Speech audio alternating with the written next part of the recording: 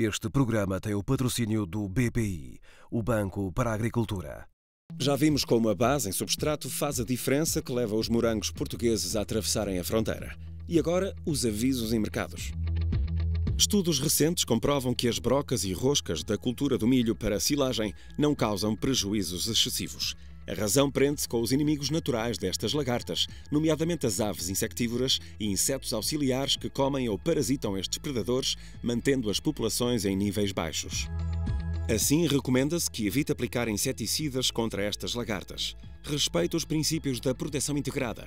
Os eventuais estragos são insignificantes em relação aos custos de um tratamento e aos prejuízos causados pela contaminação do meio ambiente. O controlo da botritis prende-se com práticas culturais de irrigação, fertilização e, sobretudo, de poda. Deve-se proceder a podas em verde a fim de obter um melhor arejamento, iluminação e exposição dos frutos à luz. Tratamentos do pomar com fungicidas antibotritis têm-se mostrado pouco eficazes. Aconselha-se o curing, um tratamento de mergulho fungicida dos frutos após colheita, seguido por uma gestão de frio com um abaixamento gradual da temperatura.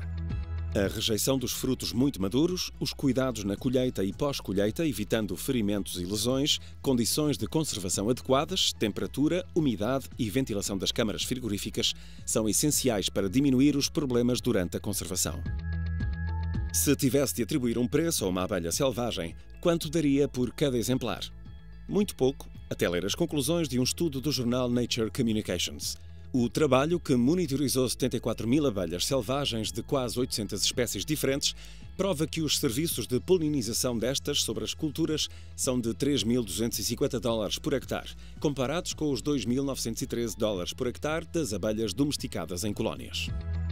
Conclusão ainda mais surpreendente do mesmo estudo é o facto de apenas 2% das espécies de abelhas selvagens fertilizarem 80% das culturas polinizáveis no mundo. Números a ter em conta numa altura em que só nos Estados Unidos os apicultores perderam 42% das colmeias nos últimos 12 meses.